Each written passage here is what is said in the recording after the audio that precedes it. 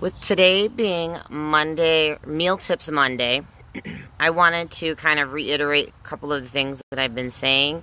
How many of you struggle with not being able to lose weight or eating too much and then having to unbutton your pants or feeling instant regret that you ate too much? So here's some couple of things that are super simple that I'm going to share with you.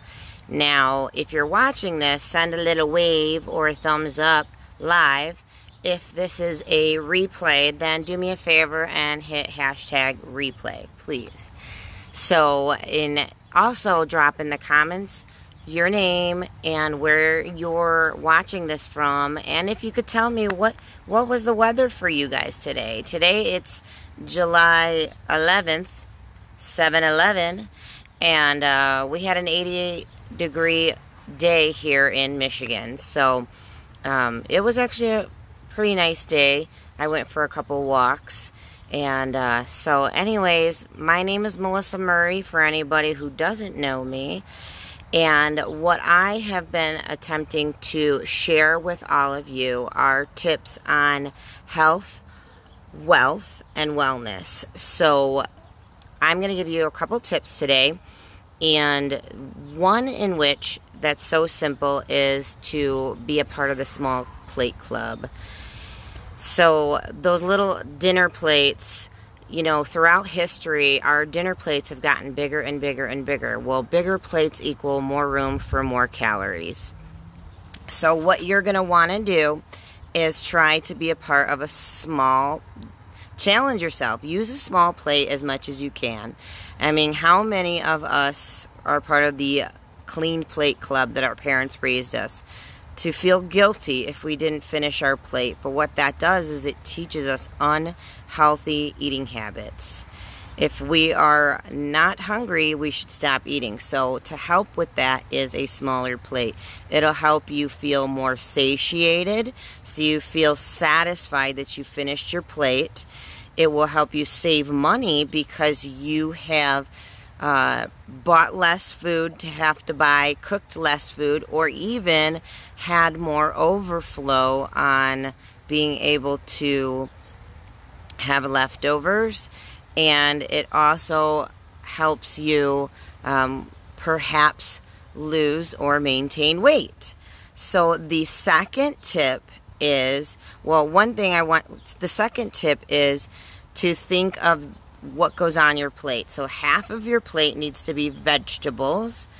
And I'll tell you about the portions in a second. And the other half needs to be shared by your protein and your starches. Your vegetables are the non starchy vegetables.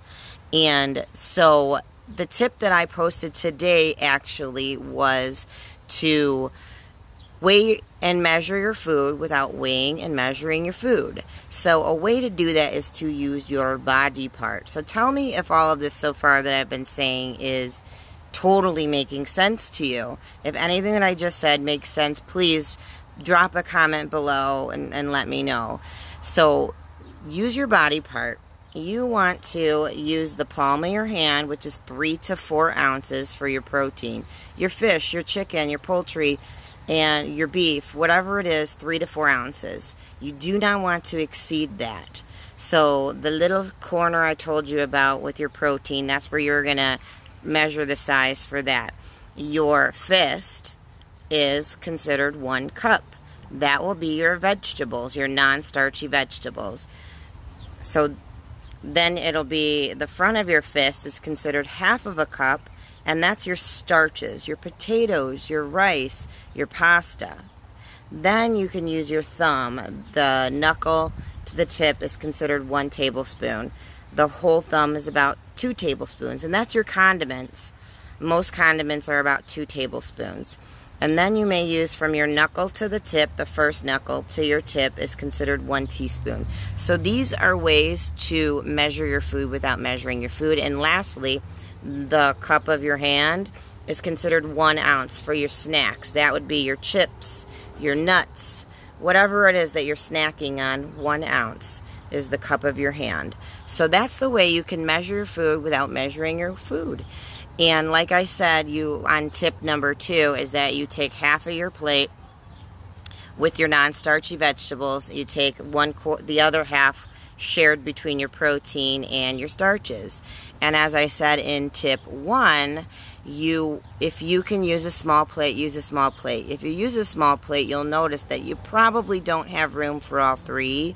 So I would suggest that you recommend I recommend losing the starch, your potato, rice. You can live off no potatoes and rice, even if it's yummy. But if you do choose to have a large plate and you proportion it with the half veggies and shared quarters of your protein and starch, then you will want to make sure that none of your food touches. So you practice everything that I just said on your portions and um, hopefully that can help you maybe lose some weight or maintain some weight, whatever your goal is. So if this is valuable to you, put a comment below so that I understand what people find as valuable so I can put more content out to help others.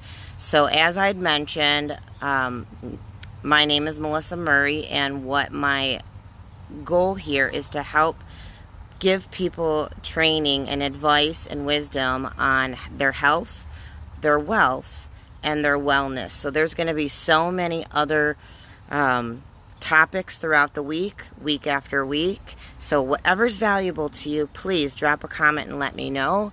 And uh, do me a favor and hit the notifications so that anytime I go live, you, you don't miss it. And follow me if you aren't already so you don't miss any of the valuable tips that I'm about to start sharing with you from here on out. All right, have a good night, everybody.